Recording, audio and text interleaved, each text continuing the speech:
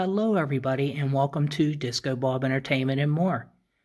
Um, got a little review of these mini slider shells, taco shells from Ortega. They're new. Found them at Walmart for two forty eight. Um, we're going to try those, and we're also going to do a little thing that I want to try out. We, I want you guys to try. Is um, a little bit of chili. I got some Wolf brand chili little chili cheese tacos. You can use uh, chili or anything. I get Wolf brand, I prefer. And then you get your cheddar cheese.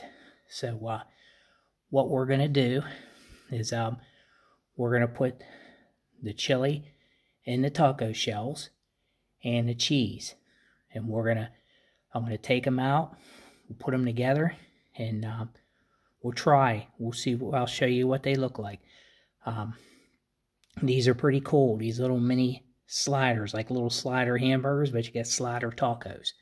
So, um, little chili and some cheese. So that's one of my favorite things together for a quick uh, meal. You know, if you don't have any, um, you know, any kind of chicken or meat or anything like that, I always can use, you know, chili or anything else to fill those.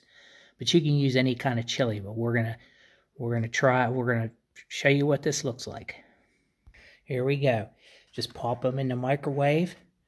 You got your chili and your cheese melted um, in these. So very, very, very, very delicious.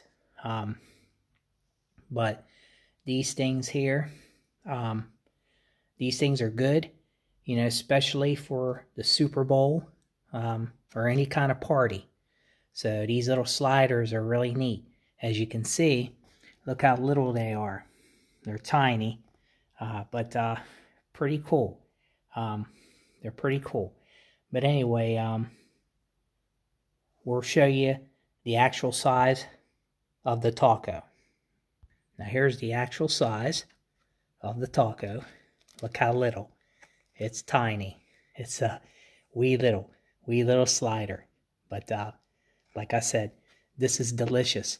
And it ain't that hard. Um, it might be a little messy uh, to eat, but um, it's really delicious. It's one of my uh, favorite quick dishes. You know, the chili cheese and chili and the cheese.